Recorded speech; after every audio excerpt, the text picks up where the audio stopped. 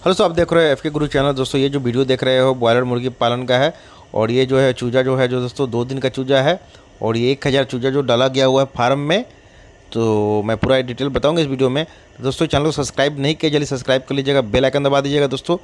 तो दोस्तों, मेरे वीडियो बनाने का मकसद ये है कि दोस्तों, अभी जो है ठंडी का मौसम आने वाला है, और गाँव में लगभग चालू हो भी चुका है ठंडी थोड़ा थोड़ा तो इस टाइम में ज़्यादा चिकन का सेल होता है दोस्तों, और इस टाइम में कमाने का एक ज़्यादा चांस रहता है दोस्तों। तो अगर आप भी अगर मुर्गी फार्म करना चाह रहे हैं तो ये देसी देसी या बॉयलर मुर्गी आप पाल सकते हो।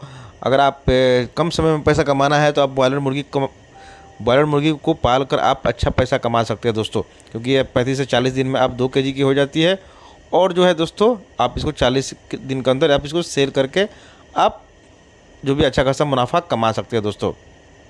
ये जो देख देख रहे हैं दोस्तों, ये बारह दिन की हो चुकी है, चूजा जो है और ये बारह दिन में लगभग डेढ़ सौ से दो सौ ग्राम हो चुका है।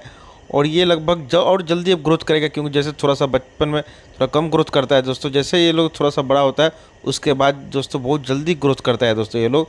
और दाना, क्योंकि दाना भी ज़्यादा खाता है, ज़्यादा जल्दी ग्रोथ करता है दोस्तों।